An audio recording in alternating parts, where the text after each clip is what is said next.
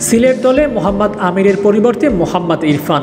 দুইজন পাকিস্তানি হলেও পার্থক্য রয়েছে যোজন যোজন। শারীরিক গঠন থেকে বোলিং, কারও সাথে কারও কোনো মিল নেই। একজন উচ্চতায় সেরা, একজন বোলিংয়ে সেরা। তবে এই মুহূর্তে সিলেটের প্রয়োজন ছিল বোলার আমিরকে। কারণ আমির চলে যাওয়ার পর মাশরাফের ইঞ্জুরি। দলটির পেস বোলিং নেতৃত্ব শূন্য হয়ে পড়েছে বললে ভুল হবে না। এই মুহূর্তে আমিরকে প্রয়োজন ছিল দলটির, আর তা হয়তো উপলব্ধি করতে পেরেছে দলের প্রতিটি সদস্য। তাই এক ম্যাচের জন্য আমিরকে ফেরাবেন সিলেট। তার সাথে যোগ দিবেন আরেক পাকিস্তানি, ইমাদ ওয়াসিম। একটা সারপ্রাইজ আছে, আমির ইমাদ। বলে দিলাম আর কি আমি রিমাদ হয়তো বা ব্যাক করতে পারে একটা ম্যাচের জন্য। সো ডে আফটার মানে আশা করি যে তারা এসে খেলবে একটা ম্যাচ। আমাদের একটা ম্যাচ যেহেতু ভাইটাল ওই ম্যাচটা জিততে পারলে আমরা হয়তো বা টপে থেকে শেষ করব। এই জন্য ম্যানেজমেন্ট থেকে ডিসিশন নিয়েছে যে আমি রিমাদকে একটা ম্যাচের জন্য ফিরিয়ে আনা যায় কিনা। তুষার ইমরানের কথায় অনুমান করা যায় প্লে অফের টপে থাকতে দল থেকে এমন সিদ্ধান্ত নেওয়া হয়েছে।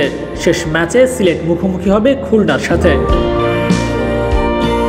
প্লে অফের এক বা দুইয়ে থাকতে পারলে বাড়তি সুবিধা পাওয়া যাবে, সেই চিন্তা থাকবে প্লে অফে থাকা প্রতিটি দলের। কারণ জিতলে ফাইনাল আর পরাজিত হলে আরও একটি ম্যাচ খেলার সুযোগ আছে। তাই সেরা একাদশ নিয়ে মাঠে নামতে চাইবে প্লে অফের দলগুলো।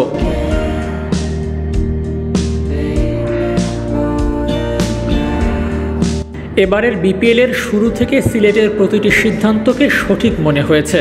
তবে শেষবেলা ইরফানকে দলে নেওয়াটা কি ভুল সিদ্ধান্ত? যে ক্রিকেটার নিজ দেশে দল পেল না, সেই ক্রিকেটার বিপিএল এসে ভালো করবে এই চিন্তা সঠিক কিনা তা বড় একটা প্রশ্ন হতেই পারে। তার জায়গায় আমাদের লোকাল পেসাররা খারাপ করবে বলে মনে হয় না। নির্দিষ্ট করে বললে তানজিম সাকিব হতে পারে ভালো অপশন। তবে নিশ্চিতভাবে বলা যায় সিলেট দল মাঠে মিস করবে মাশরাফির বোলিংয়ের সাথে অধিনায়কত্ব, যা কিনা দলটির জন্য ছিল খুবই গুরুত্বপূর্ণ। একই সাথে মাশরাফির বোলিং আর অধিনায়কত্ব শূন্য দলটিকে চাঙা করতে মাশরাফির রিপ্লেসার কে আছে? Abu nine sports and news.